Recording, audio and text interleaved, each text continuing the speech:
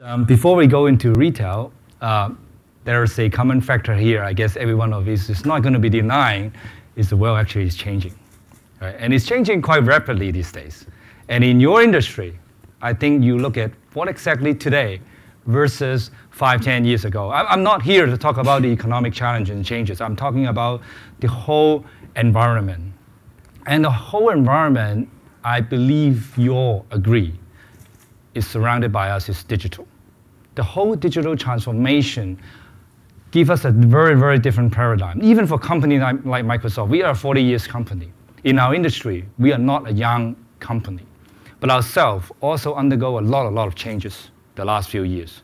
And we are one of the company who push ourselves into the digital transformation journey.